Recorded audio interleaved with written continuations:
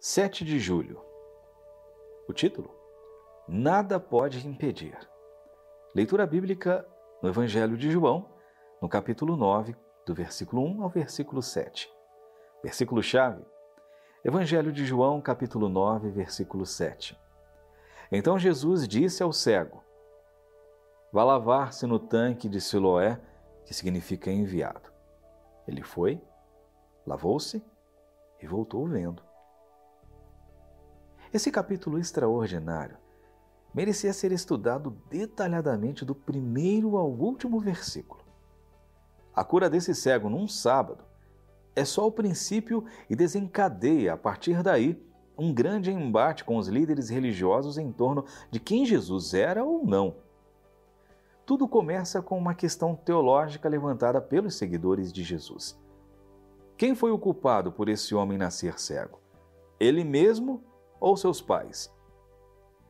Essa premissa comum na época continua presente até hoje, a de que nossos problemas físicos, econômicos, sociais, etc., são sempre causados por nossos próprios erros.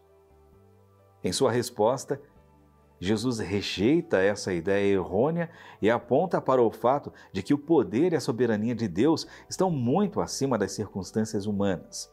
Antes, o Senhor pode e quer usar essas limitações para manifestar sua glória na vida dessas pessoas. Foi o que ele fez com o cego. Mais do que curá-lo fisicamente, levou-o a entender que Jesus era muito superior aos religiosos da sua época, reconhecendo que, se esse homem não fosse de Deus, a resposta de Jesus me lembra as palavras de Deus a Moisés quando este tentava escapar de sua missão. Quem faz a boca do homem? Ou quem faz o mudo, ou o surdo, ou o que vê, ou o cego? Não sou eu, o Senhor? Uma das grandes dificuldades que as pessoas têm é lidar de forma saudável com suas limitações ou com os imprevistos e incidentes que acontecem no decorrer da vida. Não sei como você lida situações assim. Mas seja como for, quero incentivá-lo a lembrar do princípio ensinado por Jesus. Doenças e dificuldades são oportunidades de ver Deus manifestando a glória dele na nossa vida. Circunstâncias difíceis entregues a Deus alimentam o brilho do seu poder, soberania e amor.